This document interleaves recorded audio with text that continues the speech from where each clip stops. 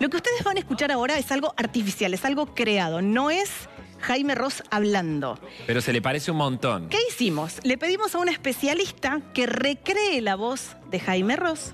Le pasamos nosotros la textual que está en la nota que recién ustedes vieron en la web y con toda esa información crearon la voz de Jaime Ross hablando y en el equipo de arte del 12 le agregamos una imagen. Bueno, Conclusión, les vamos a mostrar tres fragmentos de esta entrevista con inteligencia artificial, en donde Jaime Ross, que no es Jaime Ross, contesta como si fuera Jaime Ross. vamos con la entrevista, ¿te parece? Y después hacemos algunas consideraciones. Primera pregunta es, ¿por qué hace tanto tiempo que no viene por Córdoba o se sube a un escenario? Desde que estuve seis años y medio sin tocar, no solamente en Argentina, sino en la vida. Mi último show fue en el 2015 y recién en diciembre de 2021 volví al Estadio Centenario de Montevideo con mi nuevo espectáculo.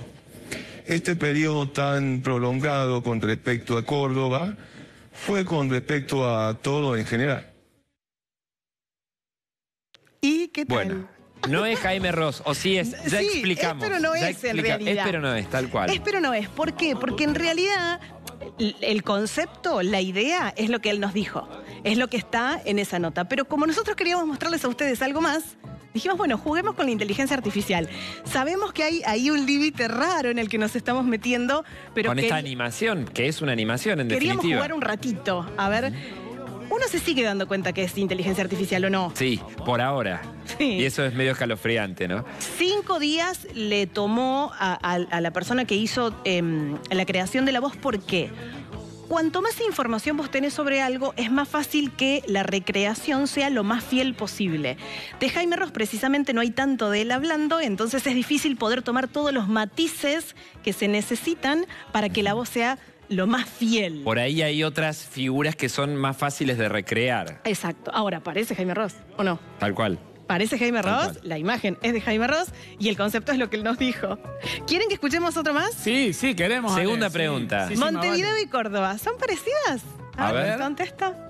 Bueno, desde el punto de vista geográfico no son ciudades parecidas.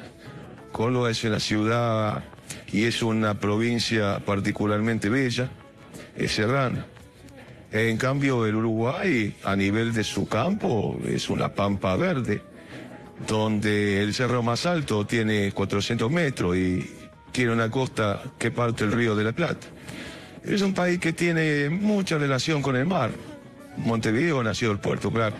Ahora, desde el punto de vista humano, ahí entramos a hablar de otra cosa. Y ahí es donde yo siento que hay una forma de ser parecida. También tiene que ver con el tamaño de estas ciudades. O sea, creo que estamos con una buena cantidad de habitantes para ser una ciudad de verdad y al mismo tiempo no perder la humildad. Claro, históricamente se ha hablado de las similitudes Sí, entre Córdoba sí. y Montevideo, ciudades, ciudades de escalas parecidas, ¿no?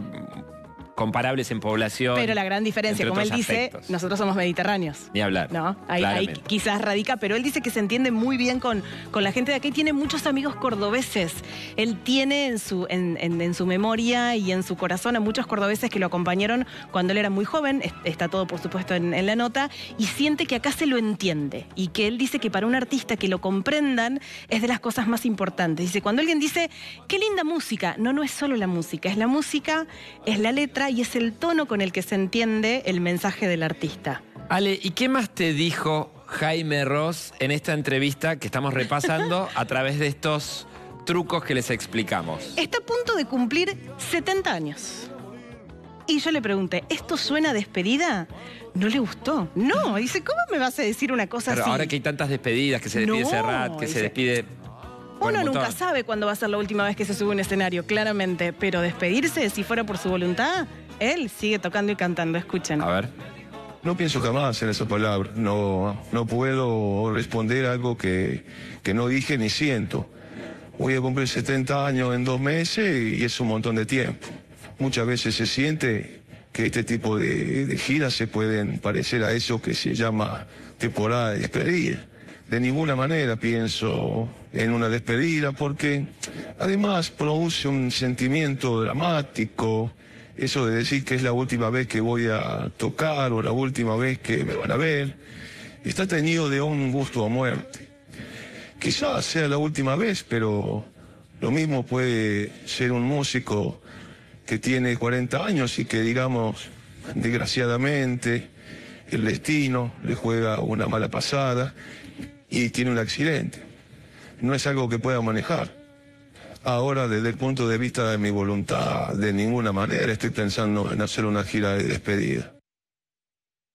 No lo Jaime está Ross pensando. para ¿eh? rato, ¿no? Bueno, a esa ver. era la respuesta de Jaime Ross, que es y no es no su es. respuesta. Ángel Arturo Vega es eh, quien logró hacer esta No recreación de la voz. Es más, es quien nosotros le mandamos el, el textual, él lo grabó, él lo leyó y después lo transformó en la voz de Jaime Ross.